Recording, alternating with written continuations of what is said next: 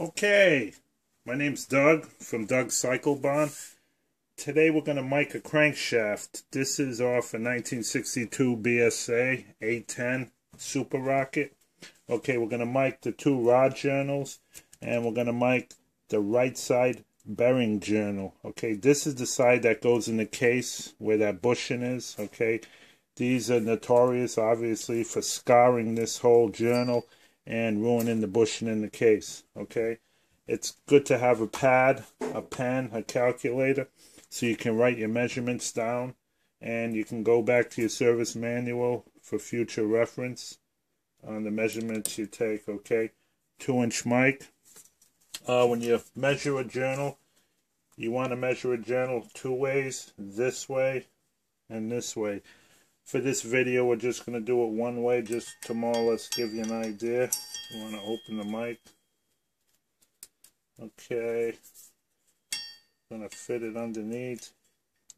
You want more or less of a, a nice light drag feel to it okay of the mic. You get a feel for it eventually then slip out the mic. Okay and this mic reads 1.6575. So we write it down 1.6575. Okay, that's the left side. Now this side, this journal should have been cleaned up before I mic'd it, but I didn't have a chance. But this is just an idea on, you know, the differences. I try to stay away from that oil hole there. Again, a light drag feel to it. It's good. Okay, and this one measures 1.657. 1.657. Okay. Now we're going to jump over to the right side main bearing journal. Uh, what I'll do is I'll take a measurement on both halves, okay? That way we can see if it's if this has been spinning kind of, or if it has a taper or anything like that. Okay. Bring it in.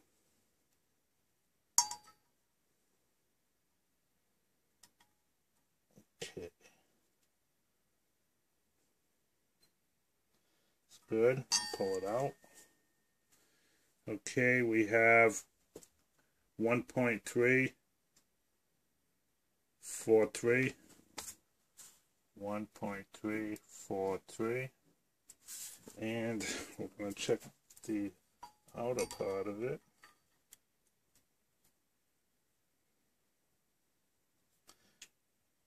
Nice, nice drag feel to it.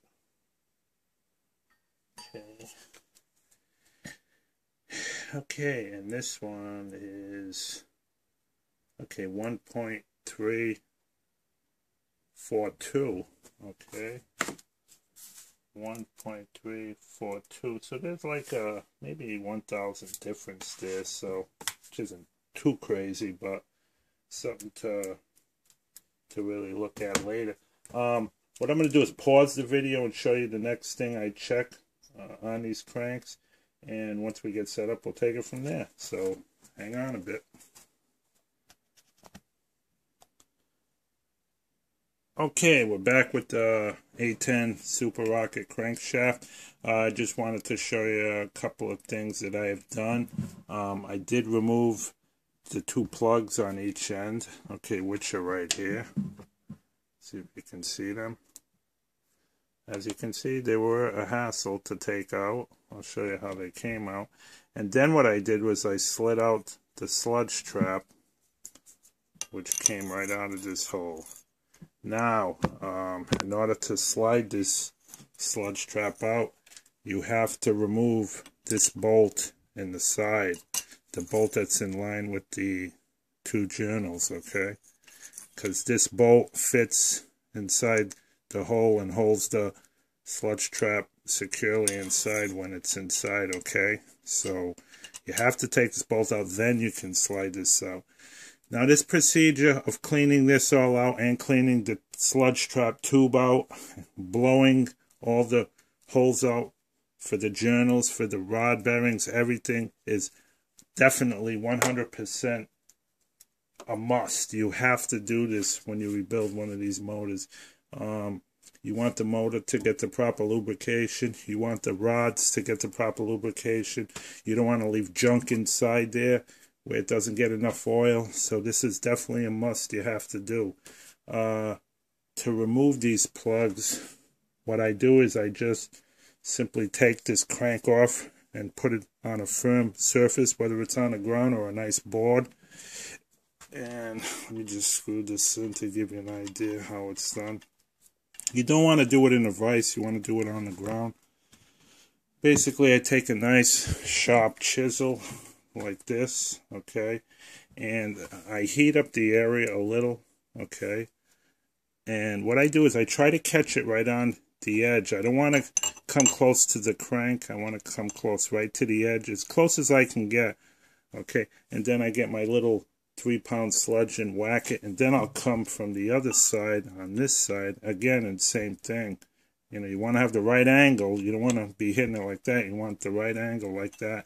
And what it does is it'll shock the screw enough to turn it.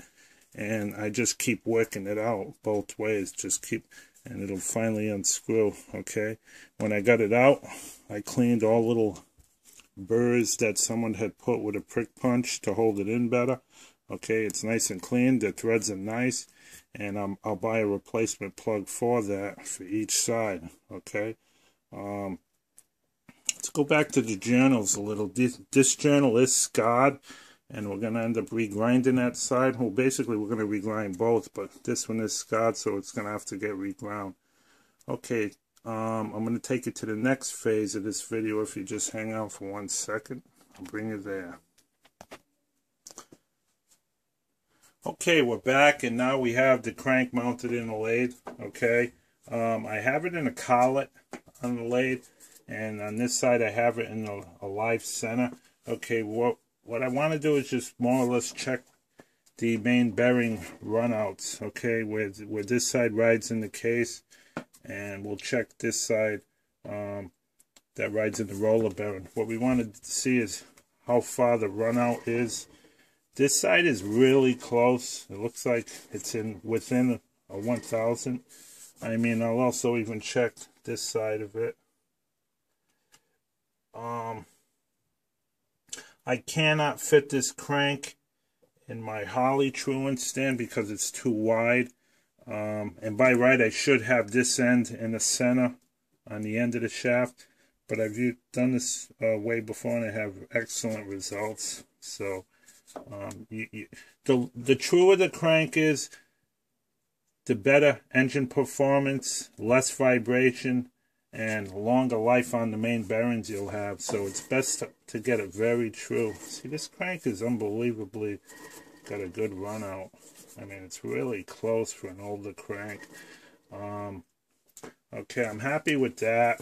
But again, I got I have to check my measurements and a regrind. So I just like to more or less get an idea. I like to know everything about the crank before I go any further. I also check here. I like to check the main wobble on the Okay, I like to check the main wobble on the on the flywheels itself, you know, just to get an idea of this big weight turning. Is it out of round? You know, if it is, um, it looks like there's a little wobbleness to it. Um, again, I can work on stuff like that later. There are things you can do to correct it and get it close. Um, I just wanted to show you an idea of more or less checking for runout on these things. And I'll also check this one over here.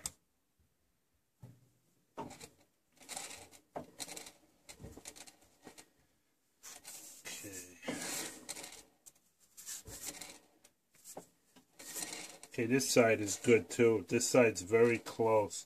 So, I mean, as long as I know this thing ain't radic, you know, really radically out, I'm happy. I will work on the wobble a little, and I can show you in future videos how I work that out too. Uh, but right now, this concludes our segment on how to make a BSA A10 Super Rocket crank, and I'll keep you posted with further videos on how this project is going. Thank you for watching.